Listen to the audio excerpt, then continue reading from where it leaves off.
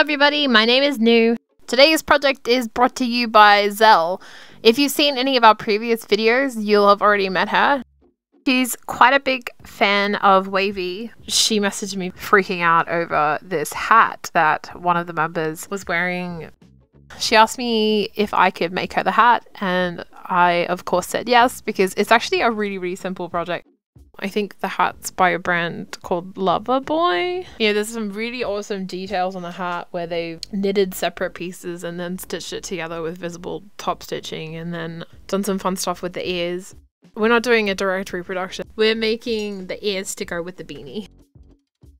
Okay, so I've actually made this beanie three times now. The first time was in a tan with like smaller ears. The second time I made it in a white color with big floppy awful ears. And then the third time is the one that I'm going to be showing you in the video today.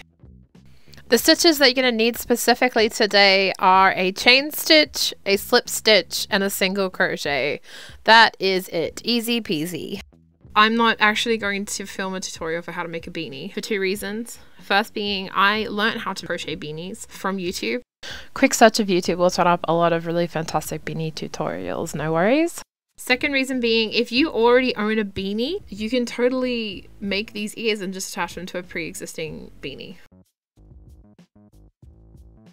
Here we go. The trick to making these ears is to use a hook size that is smaller than the one recommended by your yarn.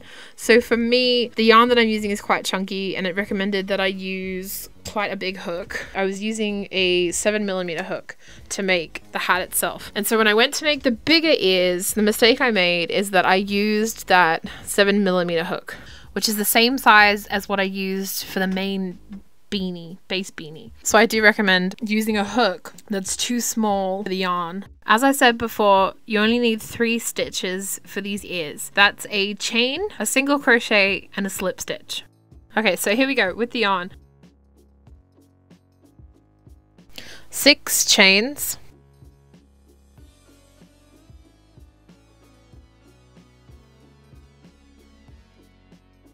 Five chains and then a turning chain. And then we are single crocheting in the second chain from the hook.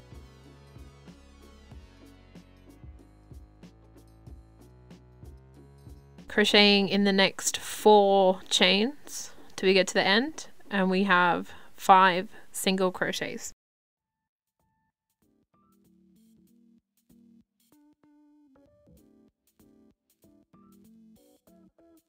Just counting here to make sure we have five and one chain stitch that we can turn around.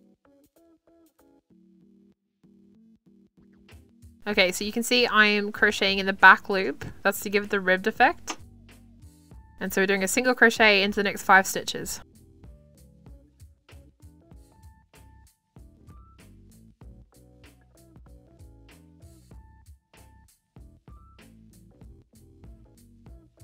This yarn is quite piecey, so at times it's hard to get the yarn in there. Anyway, here we go. Three chains. Okay, turn and single crochet into the second chain from the hook. Single crochet into the last chain that we have there.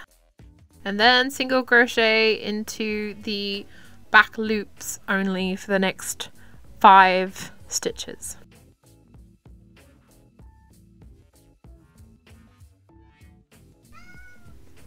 Oh, yes. Meow, meow.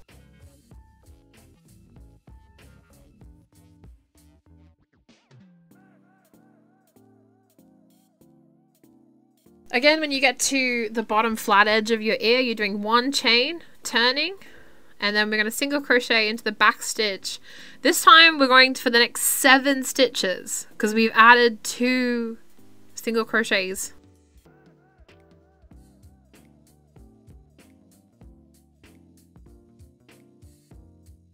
As you can see, it's quite tight because we're using a really small hook with quite a chunky yarn.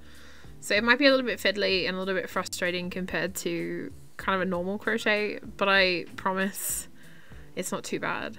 You know, just be patient with it and it's definitely worth putting it off with it. So here we go again, three chains, turn, single crochet into the second chain from the hook, and then we've only got one more chain, so single crochet in there. And then we are crocheting into the back loop for the next seven stitches. Now you're just going to keep doing that for however big you want your ears to be. So if you want to have massive, gigantic, like, I don't know, fantasy creature, bat, flyaway dragon ears on your uh, beanie, go for it. Just keep going. Me personally, I ended up getting up to, I think it was 17 stitches or 19. Yeah, so I did 19 stitches and go back and have a look at what we do when we get to the top. Okay, so now I've gotten to the top of my ear. I have 17, no, sorry, 19 stitches and I want to start reducing. I want my ear to start kind of going down. Okay, so here you can see I'm doing the last two stitches in this row. I'm stopping because that's about as tall as I want my ears to go. So I'm stopping, I'm turning, and I'm doing a slip stitch into underneath both hoops or loops. Underneath both loops, I'm doing a slip stitch for the first two stitches. One and two.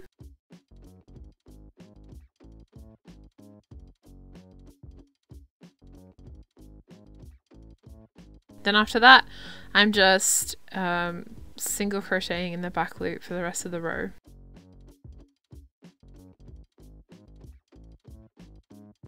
The slip stitches are just there to try and breach the um, step down between the different low the rows so it doesn't look too kind of geometric. It already looks pretty geometric right now but we're going to come back and we're going to fix that later.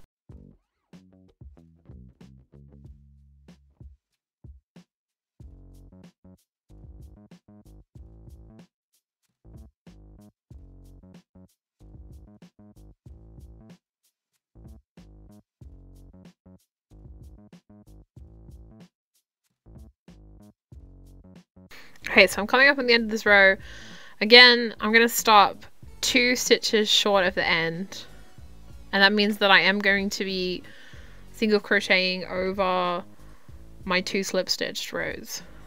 Which sounds a little bit kind of strange, but I'm doing it again to kind of reduce that blocky geometric kind of step shape. You know, we want the cat ears to be more round and curved, which is why I'm doing those um, slip stitches at the end of the row. I promise if I try and make a crochet tutorial again, I'll try not to be so awful about showing what I'm doing. Again, I'm turning and doing a slip stitch into the first two stitches. I think just what you saw me do just here is that I actually did a turning chain. So I don't think it matters if you do a turning chain or you don't. You can just go straight back in without the turning chain or if that's a bit fiddly, you know, go ahead and do a turning chain. No big deal. So it's the same situation as with the first part. Just keep stepping down until you get down to five stitches, which is what we started with. Now, if you wanted kind of less of a flat side on your cat ears, you could reduce the amount of stitches that you do at the beginning and the end to three stitches or one stitch. And that would just mean that your cat ears would probably be more curved. My cat ears have some straight sort of sides right at the beginning on the bottom. Um, which helps give it a little bit of extra height because we wanted the ears to look quite big. But if you don't like that, you can start with three stitches, you can start with one stitch, you can start with... Actually, you can start with even stitches if you wanted to. The thing with these ears is you could take the same technique and do whatever you like with it. So start off with fewer stitches. You can add one stitch and that would mean that your ears would be wider and shorter. Or you could add three stitches in every row and that means that you would have narrow more narrow, taller sort of ears. You know, it's totally up to you. You know, just take the idea and run free, customize, make the ears of your dreams.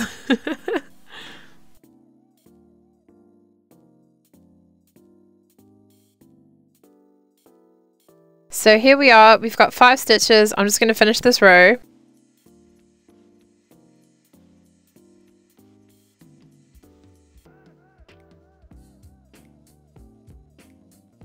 Then we're going to chain and then turn and finish off by doing five single crochets into the back loops so that we're ending on the top curved part of the cat ear.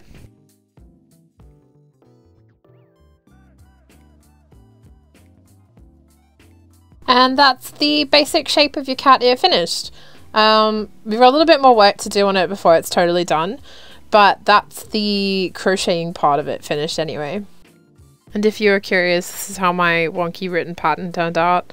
You can pause here if you want to give it an attempt to read it. um, like I said, this is my first time making a crochet video, so I'm I'm learning, and I feel like if you have any suggestions for making this process a lot clearer for you as consumers, so to speak, then please let me know. Okay, leave yourself quite a long tail and then uh, pull it through that last loop just to tie it off. For this next bit, you can either use a yarn needle or just the hook, whatever's easier for you.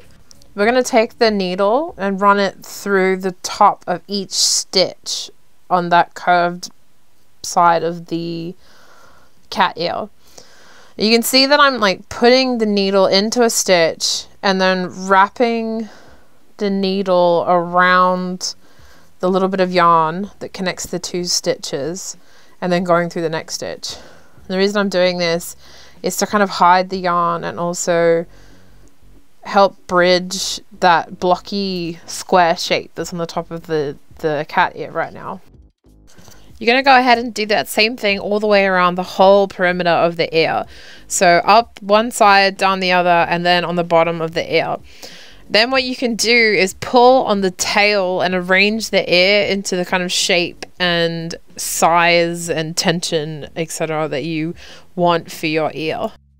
Again, the whole purpose of this is to bridge that geometric blocky shape and also gather the ear slightly so that it's got a little bit of a curve. It's not just a flat shape. And now's the easy part. You've just got to arrange the ears onto the beanie to your liking. I'm using some sewing pins just to help me out. Uh, and then you take that same yarn needle that you used previously and you just stitch it on. I didn't use any kind of special technique. Uh, at this point, as I said, this was the third time that I'd made this hat and so I just kind of got in there with a, a darning needle and just whip stitched it on there. Um, if all of your yarn is the same color, then that's not a problem at all. The stitches will just disappear into the beanie. However, if you are putting cat ears of a contrasting color onto your beanie, you might want to be a little bit more careful and hide your stitches. Here I'm going to treat you guys uh, with an exclusive look at my very chaotic workspace and my uh, creepy half-painted mannequin head. So as I said, I like the placement of the ears, so now I'm just going in and uh, whip stitching those suckers on. Uh, easy peasy. I gotta stop saying that, it's really weird. When you finish whip stipping, whip stip, stip, stip. when you finish whip, whip stitching the ears on, just uh, pull the tail into the inside of the beanie and tie it off, and uh, you can snip the end and you're finished. And then obviously repeat the same thing for the other ear. Before I send you to the beauty shots, uh, I just want to let you know that the beanie that Zella's actually wearing was the version 1 white beanie with the fluffy, floppy, gross ears that I really, really hate. So um, if, if she looks a little bit different than this one that I'm showing you here, that is why. She's also going to be modeling the tan beanie, which is made exactly the same way as this one. It just has fewer stitches. So I just, I think I went up to like 13 stitches on that one. So that's an example of uh, using the same technique to make a smaller ear. But I hope you enjoy anyway, and here we go.